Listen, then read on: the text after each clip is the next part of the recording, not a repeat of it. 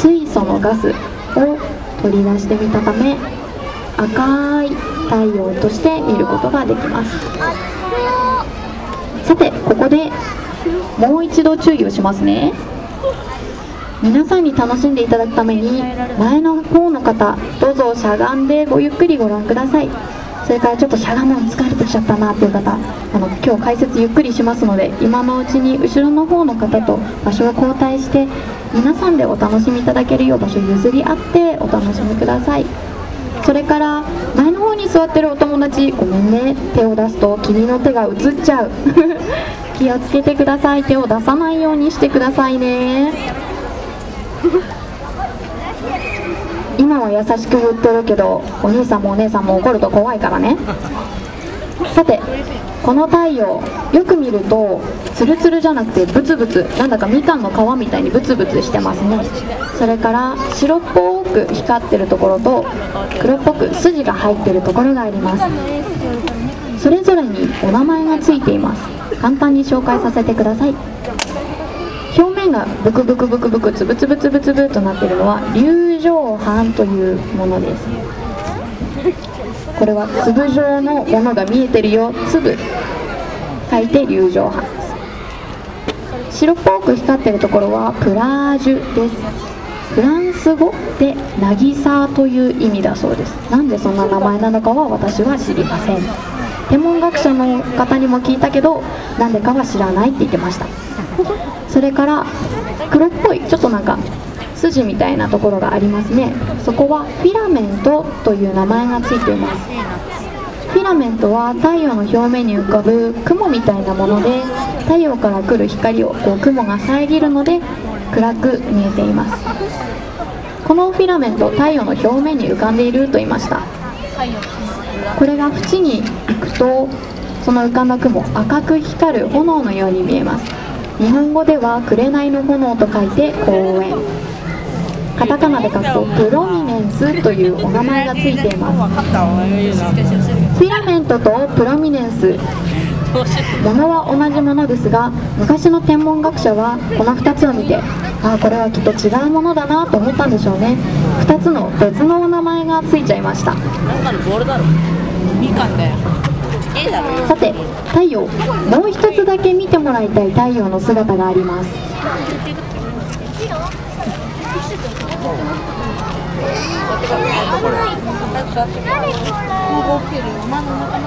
っきの太陽よりもちょっとエネルギッシュな様子が見られますね。順番に説明いたします。2番目に見た太陽緑色の太陽は高級太陽の表面。さっき見た真っ赤な太陽はその一つ外側の層細層。そして今皆さんに見てもらってるところはコロナという太陽の層です。コロナではフレアと呼ばれる太陽の爆発が起きています。ちょうどあの左上ぐらいかな。ピカッと光りますよね。あそこではフレアと呼ばれる太陽の爆発が起きています。フレアが起きると太陽からプラズマの粒子小さな電子の粒が飛んできてそれは地球にも飛んでくるんです。起きるといろいろなことが起こるのですが目に見える現象ではオーロラなんかもそのフレアで飛んできたプラズマが、えー、ネオンに擦れてね摩擦で擦れてネオン発光してオーロラを映すことが北極とか南極とか。北海道の大井戸の方でも見れるそうですね。ではそろそろ太陽ももうね十分親しんだと思うので次はお月様太陽。またまた身近な星どんな星が映るか。お、うん、さっきね天文台の方でもちょっと告知がありましたが今年の天文台特別公開のテーマ「太陽系再発見」でした。私たちもちょっと太陽系にちなんで太陽系の惑星を投影したいと思います。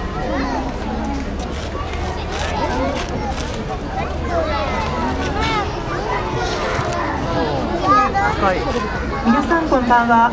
冷星大学スバル天文天文愛好会スバルの田辺と申します。よろしくお願いします。はい。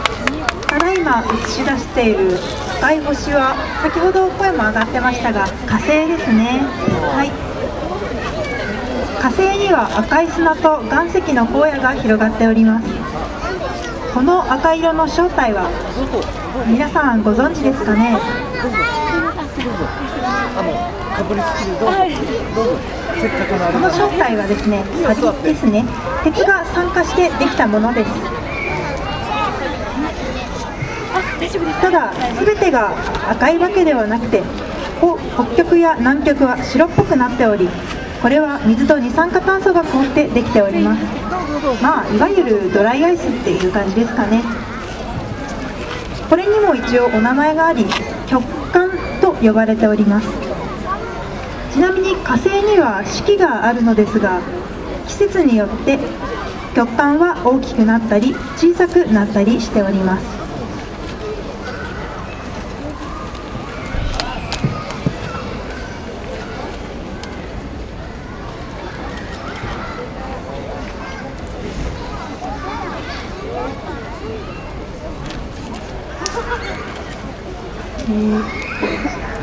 火星にはですねオリンポス山という山がありまして、えー高さ約 25km で太陽系の中でも最も高い山とされております。エレベストエルベレストですね。失礼しました。エベレストよりも大きいですね。なかなか火星にはたくさん山がありましてちょっと私全部は言えないのですが、まあ、もしご興味がありましたらぜひ調べてみてください。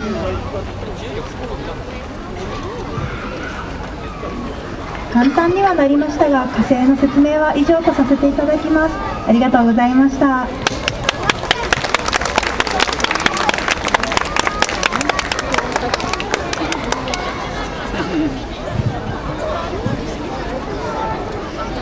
さてそれではもうしばらく火星の姿をお楽しみください。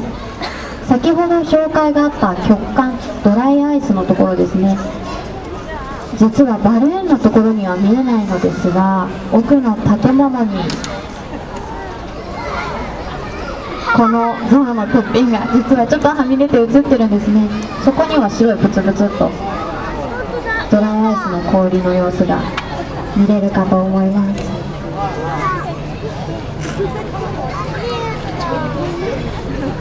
さて今回映している映像ですが途中で紹介した月食の映像以外はマジックアースという映像教育コンテンツをお借りして投影しています。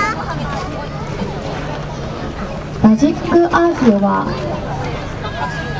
あのアップルのアプリストアでも無料のアプリを出してましてそこではリアルタイムの地球の様子ですとかこういった太陽系火星木星の他にも金星天王星海王星の星も見ることができますしそれ以外にも地球の様子春夏秋冬の台風の流れですとかそれからエルニーニョ現象エルニーニャ現象もこういう風に球のこの地球儀みたいにですねぐるぐると回して見ることができます。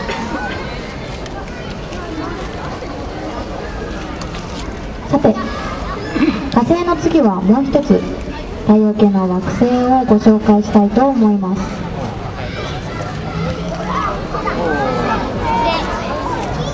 これは金星？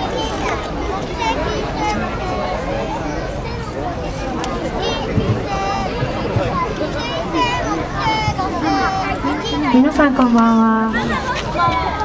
明西大学愛好会スバルのえー清水由香と申します。よろしくお願いします。ありがとうございます。今映っている惑星が皆さんなんだかわかりますか？え金星。正解は木星という惑星です木星は大きさも重さも太陽系の惑星の中で一番大きい最大の惑星です。大きさは地球の約11倍。重さはおよそ318倍もあるんです。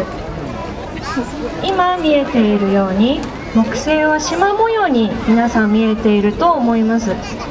どうしてこのように縞模様に見えるかって皆さん知ってますか